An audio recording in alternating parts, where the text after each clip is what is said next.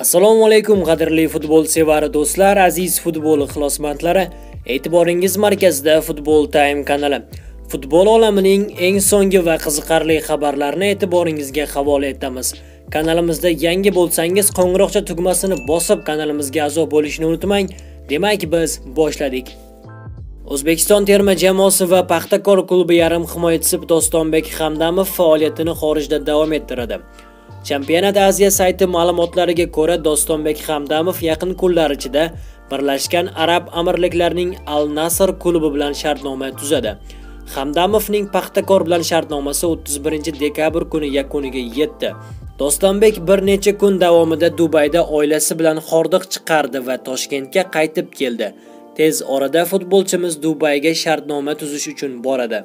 Ma'lumot uchun Dubayning Al Nasr klubi 1945-yilda tashkil topgan o'z o'yinlarini Al Maktum stadionida o'tkazadi. Jamoani ayni paytda xorvatiyalik Kurunslav Yurichich boshqarmoqda. Birlashgan Arab Amirliklari Pro Ligasida 12 turdan keyin Al Nasr 24 ochko bilan musobaqa jadvalida 3-o'rinda bormoqda. Yevropa milliy chempionatlari dekabr oyi ramziy terma jamoasini e'lon qildi. Lewandowski va Bruno Fernandes eng ko'p ovoz olgan. Yevropa sport nashrlari assotsiatsiyasi dekabr oyi yakunlariga ko'ra Yevropa milliy chempionatlari ramziy terma jamoasini e'lon qildi.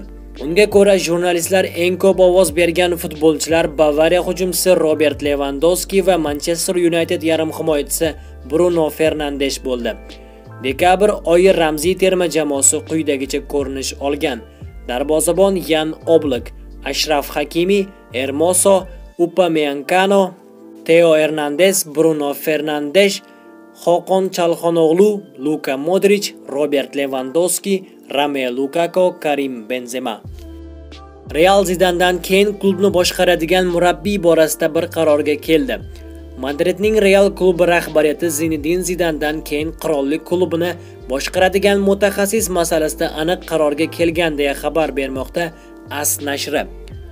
Manbaning yozishicha, Madrid klubi Zidan jamoani tark etgan taqdirda klubning yana bir afsonaviy futbolchisi Raul Gonsalesga ishonch bildirmoqda.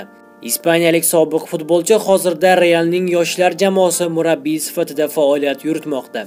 Florentina Perez bungacha Zidandan keyin Mauricio Pochettino nomzodini ko'rayotgan edi, ammo argentinalik mutaxassis PSJda ish boshlagani bois klub rahbarlari Realning navbatdagi bosh murabbiy sifatida Raul nomzodiga to'xtalgan.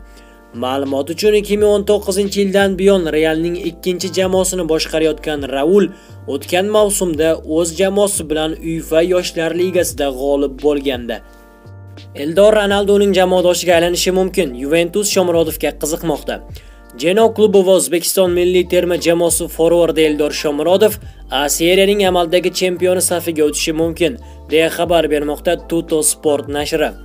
Italiya nashrining yozishicha, Genio klubi forvardi Eldor Shomurodov Juventus e'tiboriga tushgan. Turin klubi yozgi transfer oynasida o'zbekistonlik forvardni o'z safiga qo'shib olmoqchi.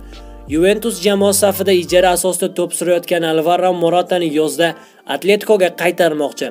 Ispaniyalik 28 yoshli hujumchi o'rniga o'zbekistonlik 25 yoshli forvardni taklif etmoqchi. Juventus sentyabr oyida Atleticodan Maratani 9 million yevro evaziga 2021-yilning yoziga qadar ijaraga olgandi. Kelishuv shartida futbolchini 45 million yevro evaziga sotib olish huquqi yozilgan bo'lsa-da, Turinliklar rahbariyati uning o'rniga Shomurodovga qiziqish bildira boshlagan.